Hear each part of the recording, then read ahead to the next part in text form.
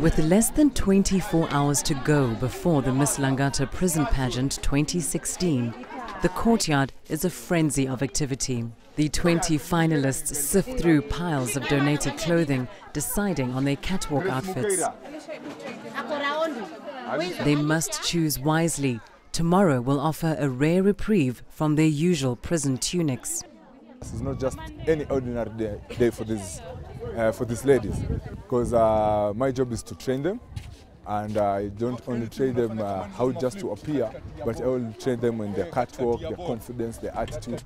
Final rehearsals are rushed as sunset points to lockup time.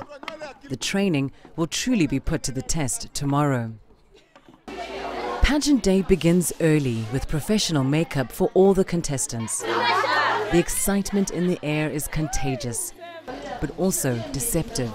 Stark reminders that this is a maximum security prison are never too far away. And every woman has a difficult story to tell about how she ended up behind bars. I made this wrong choice to go to Brazil Um, to, to take something that someone taught me to take. And you know, at that time I didn't have a home, I didn't have food, I didn't have a job. I couldn't put my kids in school. My daughter was supposed to go to school. It was, I had, I had no other option. Alicia was caught in transit at Kenya's main airport.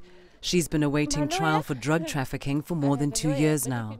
Should judges decide to hand down the harshest possible sentence, Alicia could spend the rest of her life here. So all I'm asking is for them to give me a second chance in life as a person, as a mother, as a daughter, as a sister. And um, just that I can correct the wrongs that I've made to do, give my kids back what they, they've lost. The emotional stress many inmates face is what inspired events like the beauty pageant. It is one of a range of activities and programs that define Langata's progressive reform policy, geared towards developing healthy inmates inside the prison and well-adjusted citizens outside. It helped me a lot with my courage and my self-esteem because that's something I didn't have. It's been long since I applied makeup like this, so I'm really grateful to the officers. At least they're giving us this chance, you know, to experience what you could experience when you're out there. It's kind of great. I want to build my self-esteem, confidence. With only moments to go before the competition begins, a local comedian keeps the audience entertained. Finally, the contestants take the stage. Irene Nekesa, number 19. In the capital.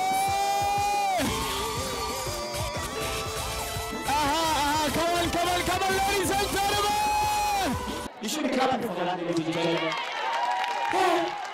The women give it their best. From casual wear to formal. Beautiful, beautiful. And the audience can't get enough. Finally, the moment everyone has been waiting for. Ladies and gentlemen, for Miss Langata 2016. Contestant number five. Oh, oh, my.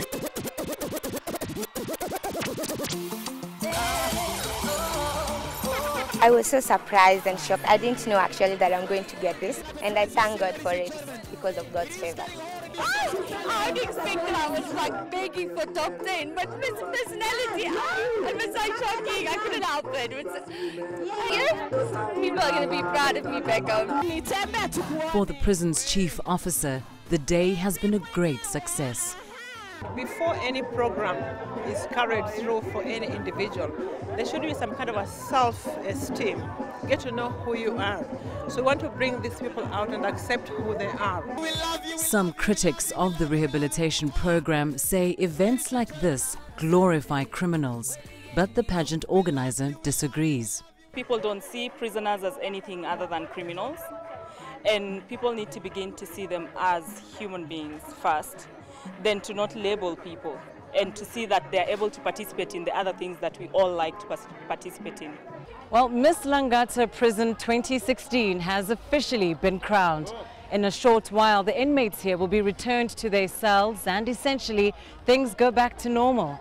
But what remains is the fact that for at least a day, every woman at Langata Women's Prison felt beautiful inside and out.